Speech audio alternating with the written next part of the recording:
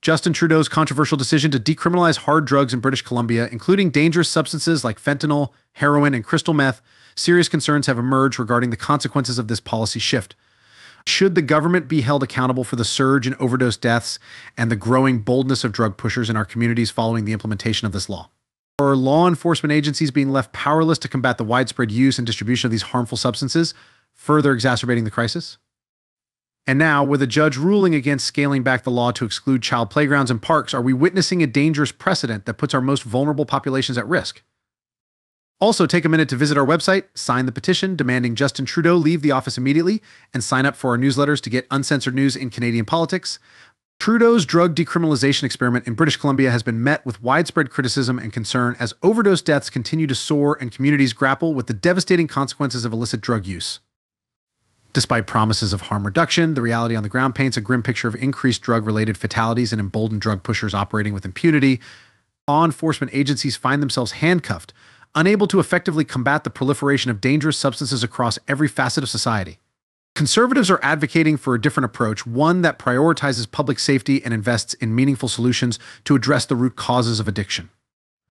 Rather than perpetuating the failed safe supply fallacy, conservatives aim to ban hard drugs outright sending a clear message that illicit substances have no place in our communities. Conservatives propose redirecting investments into detox and recovery programs, providing much needed support for individuals struggling with addiction to overcome their dependency and rebuild their lives. By taking decisive action to tackle the drug crisis head on, conservatives seek to protect Canadian families and restore hope to those affected by addiction. In response to inquiries about the Trudeau government's handling of British Columbia's request to reverse the decriminalization of hard drugs, Minister of Mental Health and Addictions Ya'ara Saks faced scrutiny regarding the absence of a clear timeline for review and decision making. In response to questions about British Columbia's request to reverse the decriminalization of hard drugs, Minister of Mental Health and Addictions Ya'ara Saks stated that a decision had been made, indicating that the request was under review by Health Canada. However, when pressed for further details, Minister Saks and Health Minister provided vague responses, failing to specify a deadline or timeline for the review process. Despite the urgency expressed by British Columbia, the ministers reiterated that the matter was still under review, without providing any concrete information on when a decision could be expected. As the review process continues, it remains imperative for Minister Saks and Health Canada to prioritize the urgency of the situation in British Columbia and expedite their decision making process. The longer delays persist, the greater the risk to public health and safety, instead of offering a concrete plan of action or outlining specific steps to address the urgent situation in British Columbia. Minister Saks appeared to deflect from the issue at hand, leaving many Canadians frustrated and disillusioned with the government's approach to drug policy. When questioned about the opposition's claims regarding the possibility of further decriminalizing hard drugs, Minister Ya'ara Saks reiterated the government's focus on viewing substance use as a health issue rather than a criminal one. She emphasized that the current priority was reviewing British Columbia's request, with the intention of preventing the recriminalization of individuals in need of healthcare. However, the response did not directly address whether the government was considering further decriminalization beyond the existing policies. Instead, it reiterated the government's stance on treating drug use as a health issue.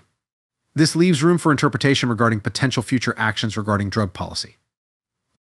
When pressed about potential public backlash against the drug decriminalization policy, Minister Ya'ara Saks maintained that the government views substance use as a matter of public health and safety rather than solely a matter of public opinion. She emphasized the government's commitment to advancing policies based on this perspective, indicating a determination to continue moving forward with their approach to drug decriminalization. However, the response did not directly address concerns about potential public dissatisfaction or opposition to the policy. Instead, it reaffirmed the government's stance on addressing substance use as a health and safety issue. In a recent press conference, Minister Ya'ara Saks offered vague responses regarding the federal government's response to British Columbia's request to reverse the decriminalization of hard drugs. Despite meeting with BC, officials in receiving the request, Saks provided little clarity on the timeline or specifics of the review process.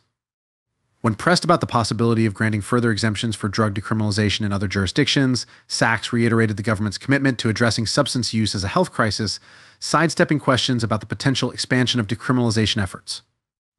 Moreover, Saks failed to address concerns raised by BC about the escalating public use of drugs, opting instead to reiterate the government's reliance on a suite of tools approach without acknowledging the shortcomings or failures of the decriminalization policy.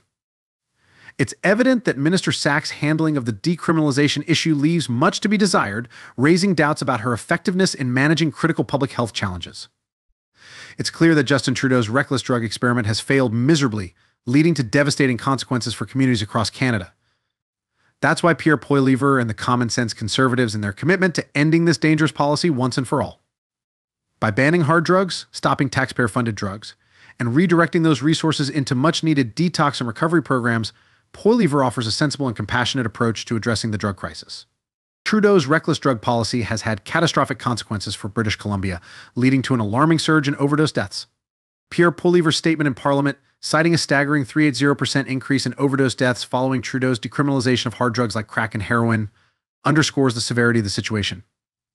By allowing the open use of dangerous substances in hospitals, transit buses, coffee shops, and even parks where children play, Trudeau's policies have put countless lives at risk. The fact that 2,500 individuals lost their lives in the year following the implementation of these extreme measures is a tragic testament to their failure. Poilievre's commitment to reversing Trudeau's disastrous drug policy and implementing effective measures to address addiction and save lives is exactly what our country needs. Trudeau's approach to drug policy has been nothing short of disastrous for Canada. His reckless decision to decriminalize hard drugs has led to their consumption in places like hospitals and community centers where they pose a serious risk to public safety. Even more concerning is the disturbing trend of free drugs being distributed only to end up in the hands of vulnerable youth, this irresponsible practice has contributed to the proliferation of drug use among Canada's youth population with devastating consequences.